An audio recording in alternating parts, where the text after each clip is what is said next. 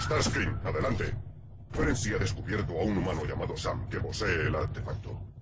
Un par de lentes oculares que nos conducirán a Megatron. Interesante.